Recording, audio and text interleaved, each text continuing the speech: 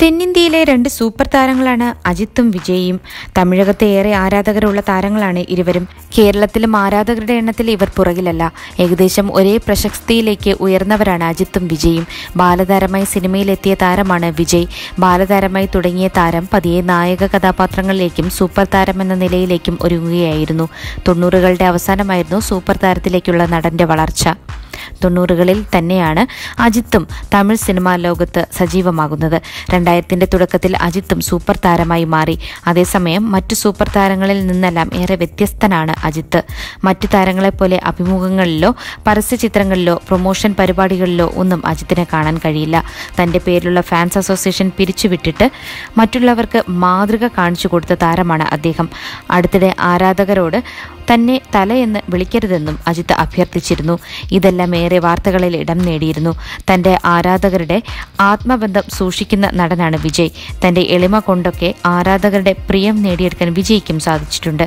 തമിഴ് സിനിമയിൽ വിജയ്ക്ക് കരിയറിൽ വഴിത്തിരിവാവുന്ന കാലഘട്ടം ആയിരത്തി തൊള്ളായിരത്തി തൊണ്ണൂറ്റിയേഴ് മുതലാണ് ഇതേസമയം തന്നെ കത്തിക്കേറിയ തല അജിത്തും ദളപതി വിജയും തമ്മിലുള്ള മത്സരം തമിഴ് സിനിമയിൽ പരസ്യമാണ്. പലപ്പോഴും ഇരുവരുടെയും ആരാധകർ പരസ്പരം പോരടിക്കുകയും ചെയ്യാറുണ്ട്. വർഷങ്ങളായി ഇരുവരുടെയും ചിത്രങ്ങൾ ഒരേ സമയം തിയേറ്ററുകളിൽ എത്താറില്ല. എന്നാൽ ഇത്തവണ ആ പതിവ് തെറ്റിക്കുകയാണ്. വിജയ് നായകനായ വാരിസും അജിത്തിന്റെ തുനിവും ഈ പൊങ്കാലയ്ക്ക് തിയേറ്ററുകളിലെത്തുകയാണ്. അതിന്റെ ആവശ്യത്തിലാണ് ആരാധകരും. ഇപ്പോഴിതാ വാരിസിന്റെ ഓഡിയോ ലോഞ്ചിൽ വിജയ് അജിത്തിന്റെ പേര് പറയാതെ പറഞ്ഞ വാക്കുകൾ വൈറലാവുകയാണ്. വിജയുടെ വാക്കുകൾ വിശദമായി വായിക്കാം തുടർന്ന്. ഞാനൊരു കുട്ടിക്കഥ പറയാം. ആയിരത്തി തൊള്ളായിരത്തി തൊണ്ണൂറിൽ എനിക്കൊരു എതിരാളി വന്നു. തുടക്കത്തിൽ ഞാനും അദ്ദേഹവും തമാശയ്ക്ക് മത്സരിച്ചു. എന്നാൽ ഞങ്ങൾ വളരുന്നതിനനുസരിച്ച് ജനങ്ങൾക്കിടയിലെ മത്സരവും സീരിയസ് ആയി വളർന്നു. അദ്ദേഹത്തിന്റെ വിജയം എന്നെ ഭയപ്പെടുത്തി. ആ ഭയമാണ് എന്നെ പരിശ്രമിക്കാൻ പ്രേരിപ്പിച്ചത്. ഞാൻ ഇപ്പോൾ നിങ്ങളുടെ മുന്നിൽ നിൽക്കുന്നതിന് കാരണം ആ എതിരാളിയാണ്. അദ്ദേഹത്തെക്കാൾ മികച്ചതാകണം എന്ന ചിന്തയോടെയാണ് ഓരോ സിനിമയും ചെയ്യുന്നത്. അങ്ങനെ ഒരു എതിരാളി നിങ്ങളുടെ ജീവിതത്തിലും ഉണ്ടായിരിക്കണം വിജയ് പറഞ്ഞു. വിജയുടെ വാക്കിൽ അജിത്തിനെ കുറിച്ച് തന്നെയാണെന്നാണ് സോഷ്യൽ മീഡിയ പറയുന്നത്.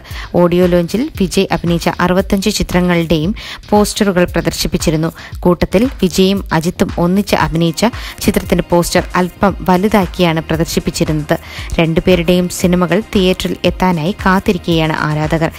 അജിത്തിന്റെ തുനിവിൽ മഞ്ജു വാര്യറാണ് നായികയാവുന്നത്. Entertainment desk clip Malayalam